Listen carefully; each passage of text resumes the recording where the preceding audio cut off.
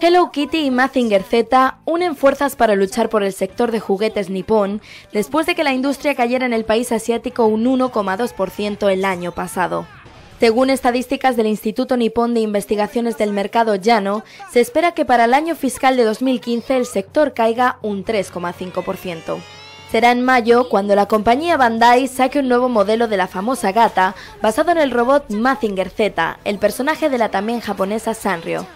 El muñeco puede emular el ataque característico de Mazinger Z puños fuera, en el que ambas manos y antebrazos salen disparados para golpear al enemigo. También acompañarán el lanzamiento con la comercialización de una segunda figura de Mazinger Z, con los colores y el lazo que lucía Hello Kitty en la década de los 70. Para promocionar ambos productos, la firma ha decidido sacar un tráiler en el que los personajes más famosos de la cultura pop del país luchan contra los villanos de la franquicia robótica.